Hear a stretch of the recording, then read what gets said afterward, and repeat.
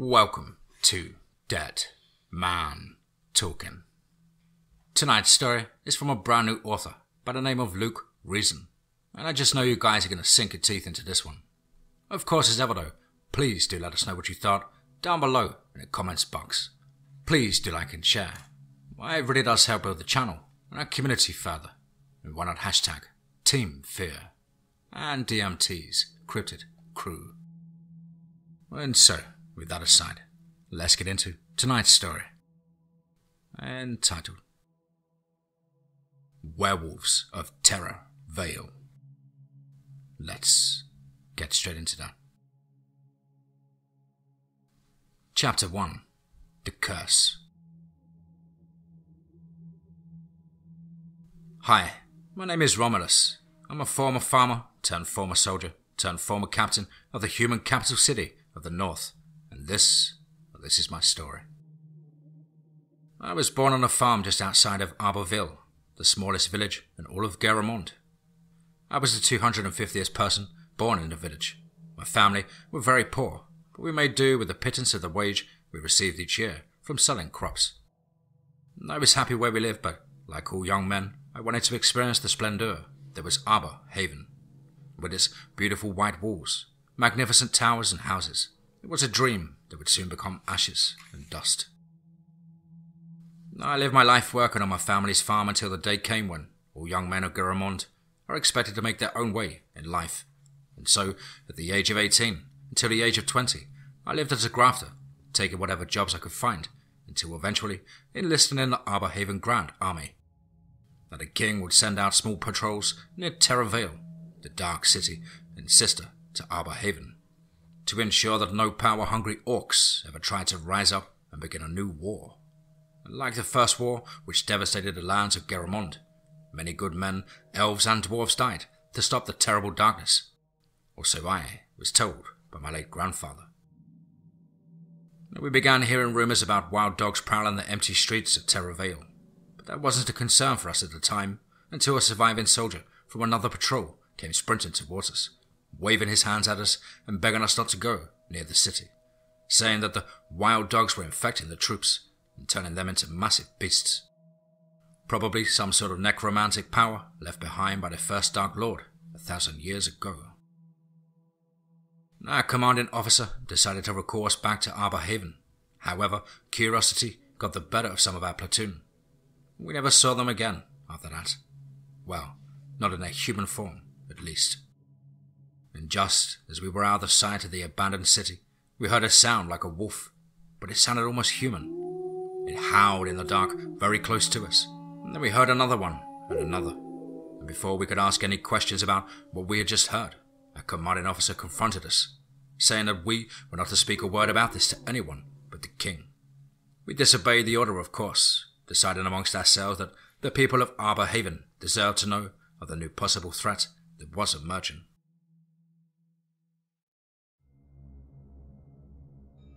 Three months after our horrific subsequent loss of men, word began to spread amongst the populace of dogs. Dogs of almost seven feet in length and weighing more than a rhino. Working in a pack to terrorize the people of Arbor Haven, devouring children, tearing apart the women, and decimating the troops. Probably our former allies and members of our own platoon that vanished when we were recalled back to the city. After a week of defending the villages from the werewolf curse, we decided to find out how to break the curse. My commander gave me 30 men and a promotion to captain. We were tasked with searching through the deserted Dark City for any way of stopping this terrible plague. We reached the gates three days after being assigned the task and entered the abandoned city. I was completely void of life and movement as far as we were aware, but that, that was our first mistake. The horrors that we faced in a supposedly abandoned city when I was but a captain of Arbor Haven was worse than anyone could possibly imagine. Immediately after entering Terror Vale, we were set upon by a pack of terror hounds. I watched in horror as many of my allies and friends were dragged into dark corners or ruined buildings and then savagely bitten and clawed. And just as the last bit of life was about to leave them, they began to transform. No longer looking human, but instead a monster with teeth the size of daggers, claws as tough as steel, and fur as dark as the night sky. None of us was safe. I was surrounded with nowhere to go, and so I knelt down and bowed my head, expecting them to kill me at any moment or savage me to an inch of my life. But instead, they grabbed me and dragged me to the spire of Terror Vale, so that I would be interrogated by their dark master. I screamed out in horror when I reached the top of the tower and laid eyes upon the creature that was before me. For it was not a man nor a beast that ruled the terror hounds and werewolves, but a night stalker. A being that is neither alive nor dead, but bound to the mortal world, invisible to the naked eye, except for a set of sharp, pointed, razor like teeth under a black cloak. It just hovered there above the ground before me, laughing at me in a screeching pitch, before saying, You shall be my right hand and my loyal servant. Take him to a cell of my pets and prepare him for his transformation. I was dragged into a dungeon cell by terror hounds. I then had my hands bound together and my feet bound together with chains by my former men. Only now they were werewolves. I was shivering with fear, wondering what they would do and what my fate would be, when suddenly one of the terror hounds came prowling towards the cage. Then it slipped through the bars and began to maul me. I managed to free my hands from the chains that bound them, and I found a knife that was left in the cell for the opportunity of suicide. Obviously, some sort of sick joke for the Night Stalker. I stabbed the beast, but not before being infected with the werewolf curse. I began feeling a stretching sensation, coupled with a ripping sensation. Then all of my important internal organs began to stop working at the same time, but only for a moment as they were all simultaneously expanding. The pain was unbearable. A heart attack, kidney failure, lung failure, and liver failure all at the same time. But that's when it wasn't even the worst of it. My muscles had to rip and reform.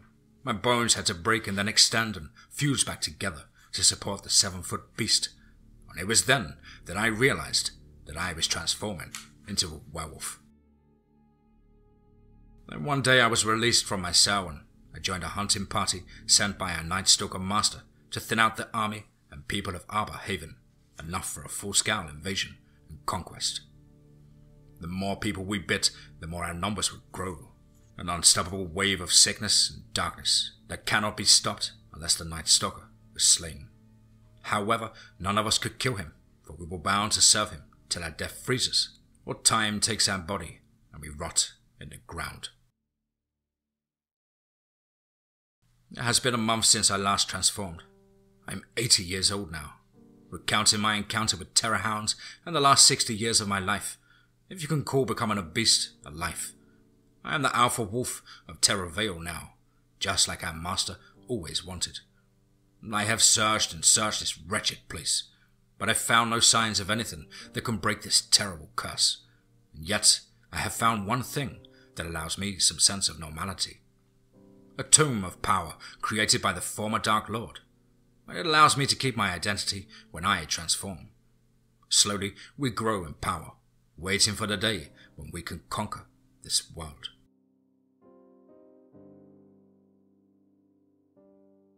Chapter 2 Destruction of Arbor Haven. Let's get straight into that. And a war raged on for ten years between us and the humans. Neither side could get a firm foothold until one of my brightest soldiers, most trusted ally, came up with an idea that would turn the tide of this war in our favor. The city of Arbor Haven had a side gate for evacuating civilians to the mountains. We knew it was not very well guarded. The humans assumed that any assault to the city would come from the main gates, and so I dispatched 30 werewolves to take the side gates, with the goal of sneaking to the main gates, taking out the guards at the gatehouse, and opening the gates the plan would have gone off without a hitch. However, the Princess of the Elves decided to visit the King of Arbor Haven during the week of our siege. The problem was that the elves insisted that they enchant the side gates, for they, like us, had discovered the obvious flaw with the city's defensive designs. What the elves, nor indeed the humans, realized was that a small, long forgotten tunnel led from Arbor Haven to the plains of Garamond. Originally, it was used for smuggling contraband into the city. However, now it lies abandoned, which was perfect for our plan. I decided to implement my plan again. Only this time, my infiltration squad would utilize the tunnel and emerge deeper in the city. Meanwhile, myself and the rest of the troops lined up with trebuchets behind us, manned by orcs. I gave the order to fire, and the attack commenced. The people of Arbor Haven screamed in terror as rocks coated in oil and set a light hurtled towards the city. Suddenly, the werewolf infiltration squad emerged from a building deep within the city and began biting and infecting the citizens. Within the next couple of hours, 30 werewolves became 1,000 within Arbor Haven. Meanwhile, myself and the remaining 220 outside the city waited patiently for our outer gates to be breached. And finally, the strike force opened the gates the city defenders began to retreat to the second level. On the following night, we feasted on the corpses of our fallen foes. The Romanian soldiers watched from the battlements in horror as many of their fallen comrades and family members were torn apart and devoured by werewolves. The night went by slowly for the humans as we prowled around the city's lower level, trying to find a way into the upper level. And Normally, we would just climb the walls. However, the humans had poured boiling oil down the walls and set fire to it. And after hours of lingering around the lower level of the city, we were forced to hide inside many houses of the city, for if we stayed out when the sun began to rise, we would transform into our human forms and become vulnerable to mortal wounds. I watched from the shelter of a building as at least 700 werewolves were caught out by the rising sun and began to turn back into their human forms. Immediately after, they were shot down by archers of Arbor Haven. We few werewolves that survived remained inside the buildings and only ventured out at night. We spent months in our human forms. Although still powerfully strong, we did not try to attack the city's remaining inner levels for fear of being wiped out, for it was another three months until the next full moon. Instead, I sent one of my fastest messengers to the task of asking a Night Stalker for reinforcements. Three days went by without a word of help for us, until the third day of our ranks.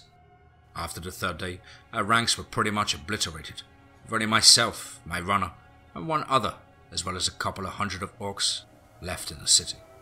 My race was almost completely spent.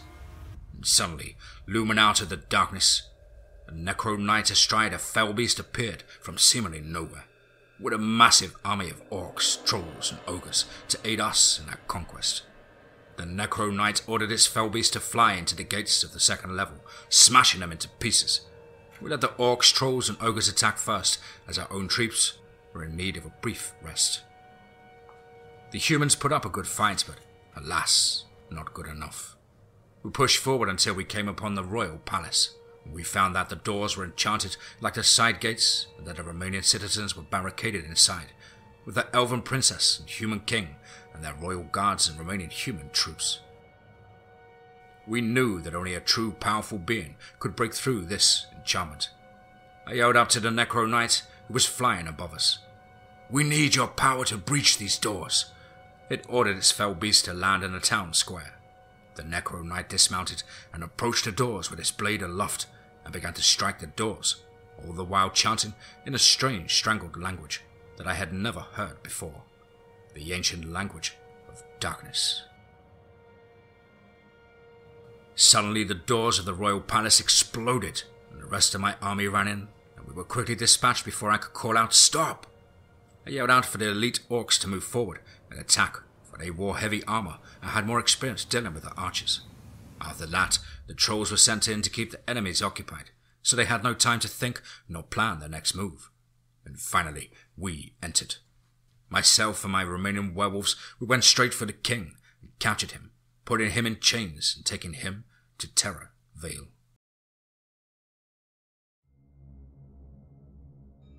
We brought the human king to the Night Stalker, whilst the rest of the army pillaged, plundered, and burned the city to the ground and Master questioned the king about weaknesses of the other human kingdoms before finally extending his arms and converting the king into another Necro Knight.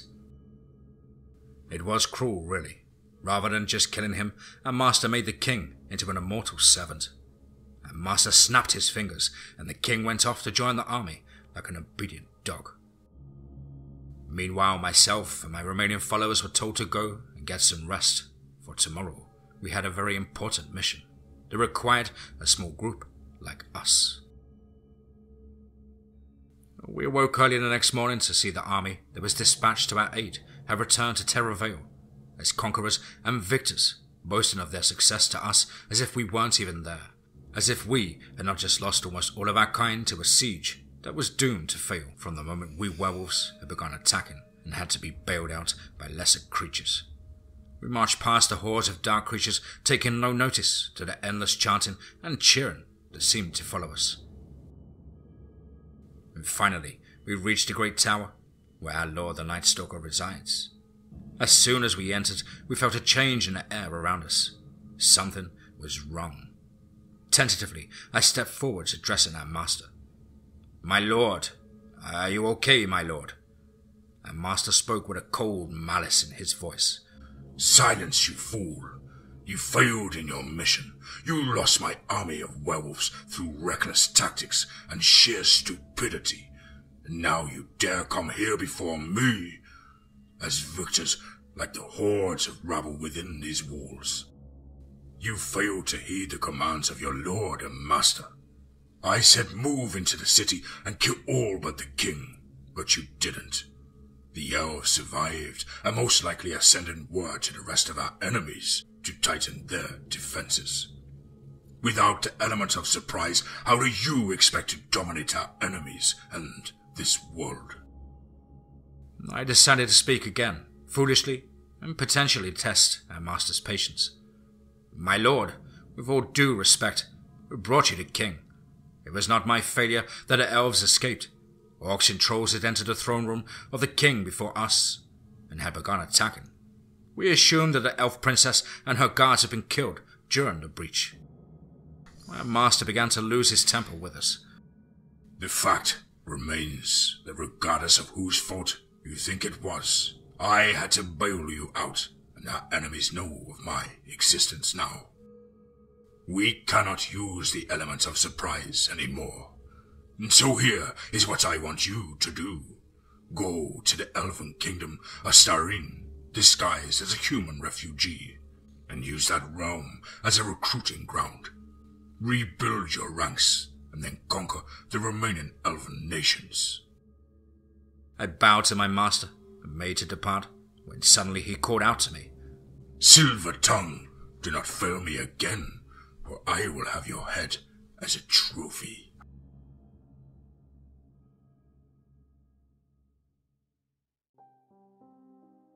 Chapter 3 The Realm Eternal. Let's get straight into that.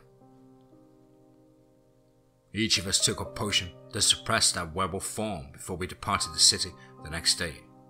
We arrived at the border to the woodland realm three days later and decided to set up camp outside. We had been traveling for days without rest and were pretty tired, and we were just starting to drop off to sleep when suddenly we were grabbed from behind then had our hands tied behind our backs, and we were forced to walk at a brisk pace into the woods, where finally, after hours of marching, we reached a large wooden city surrounded by wooden walls, and on those walls were arches, at least fifty of them. We passed through the gates and up a flight of wooden steps to a massive tree, with a widened set of steps leading up to a giant treehouse above. We reached the topmost step and stumbled forwards as our captors shoved us and forced us to our knees before their king and queen. The queen of the woodland realm was fair and beautiful to look upon, and yet power emanated with every word she spoke, whereas the king was a quiet, reserved being who rarely spoke at all. And when he did, it was only ever to his wife. And the queen began to speak, addressing the captain of the guards. Well, captain, what news do you bring before my throne? The captain responded, Your majesty, I caught these four men camping outside our realm. They claim that they were just passing through on their way to the Black Mountains of Dorwinion. Suddenly, the Queen turned to me and said, "And Before I ask you what you're doing here, I wish to learn your names. And I stepped forwards and speaking very loudly and very clearly said, I am Captain Morgrim, leader of the 4th Division of Arborhaven, or I was until the darkness consumed my beautiful city. Now my comrades and I are all that remains of the noble guard of the White City. The strongest and biggest among us is Wulfric. The skinny chap with the long beard is Mal'Ganis. And finally, the fourth member of our company, lanky and hunched over, he is Remus. And as for why we are here, why, we are simple refugees of the ruined city of Arborhaven, seeking asylum from the wilderness. Suddenly, the king stood up and began to speak, addressing us. You're not werewolves, are you? Word has reached me from my daughter that there's been werewolves attacking human settlements. My daughter also informed me that apparently there were no survivors from that siege in Arborhaven. So if you are not werewolves, and you are clearly lying about being refugees, then who are you, and what are your intentions for being in my realm? Suddenly, a guard shoved me forwards and said, You will tell the truth or we will execute you. At that precise moment, the effects of the potion that was suppressing our werewolf forms started to wear off. Not only that, but the moon started to bathe the woodland city in pale light that shone through the treehouse palace, hitting us and causing us to transform. At that exact moment, the king and the queen of the wood elves started yelling orders to the guards, telling them to kill us before we could infect any of the citizens or themselves. We began our rampage through the city by killing the queen and king of the elves and infecting the princess who had taken up arms against us. The entire elven nation was converted. Then I instructed one of my companions, Wulfric, to stay behind and act as governor of the elven Lycans. Mal'Ganis, Remus, and I, along with the princess, departed an hour after the official appointment of Wulfric as governor. We packed up some supplies, mounted some horses, and set off for Terror Vale to deliver our report on the smoothness of our mission, and add captive princess to our master. Once more the darkness struck, and once more the light was snuffed out. The poor elves had zero chance once the first of the infected began to transform. The city guard scrambled to regain some sense of control in the chaos that followed. However, too many people had become infected by the time they had rallied their strength. It was a bloodbath, as a good 40% of the elven people were killed and eaten, and a further 20% were captured and enslaved by a group of orc slavers who happened to be operating in the area. As for the remaining 40%, they became a new subspecies of werewolf. When the orcs appeared in the midst of the battle, we knew they were not servants of the Night Stalker, but a wild tribe, for they had not been branded with a sign of the dark eye with teeth, but rather they bore a different mark a black skinned orc brute whipping a human man. And the return journey was difficult, as the wild orc tribe insisted on accompanying us back to Terror Vale to meet our Dark Master, and no amount of discouragement could change their minds. Not only did we have to deal with their vile company, but also the princess refused to walk with us and insisted on being mounted on horseback. However, we werewolves had no need for horses and could easily travel many leagues in a very short period of time. And in our beast form, we can even outrun a cheetah. Finally, after five days, we arrived at the city gates, only to find them hanging off their hinges, not a single orc guard at his post. I was in shock, as our master had the gift of foresight that went way beyond the simple assumption of the future. We searched within Terror Vale for any sign of what might have caused such a void in a usually busy, noisy, and bustling city of darkness. Eventually, I found an orc captain, barely alive, in the rubble who, once healed, told us the situation.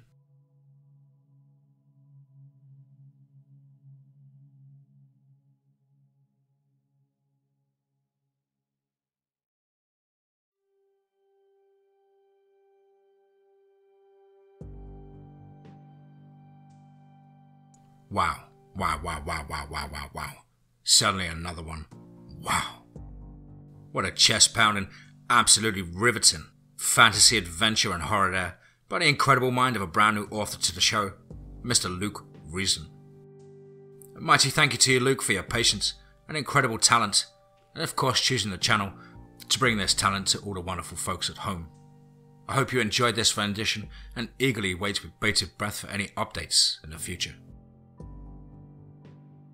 Well, guys and girls, as ever, You know the drill.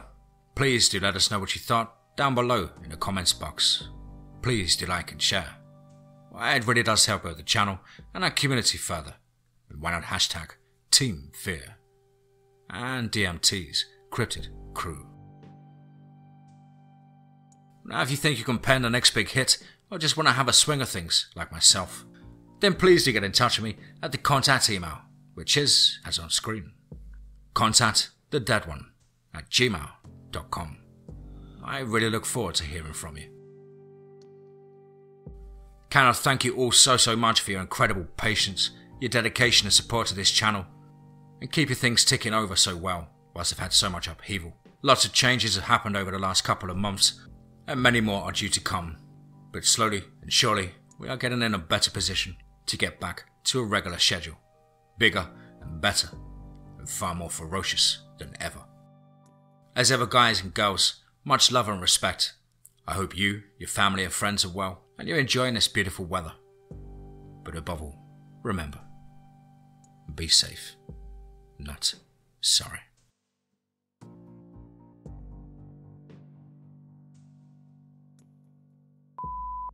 Will the real DMT please stand up? I repeat, will the real DMT please stand up? Uh, we're gonna have a problem here. I bowed my. I bowed my. My, my, my, my, my, my, my, my, my, my, my, my, mm, dwarf. Uh, grab us a drink from the fridge and you'll return, please, handsome. Thank you, my liege. It's actually a woo woo. Woo! Exactly.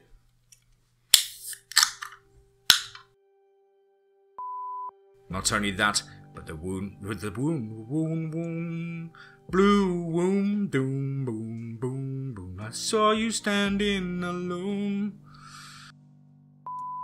After infecting many of the guards and the princess, we began to infect the rest of the elven populace until. Now, if you think you can pen the next big hit, or just want to have a swing of things like myself, swing.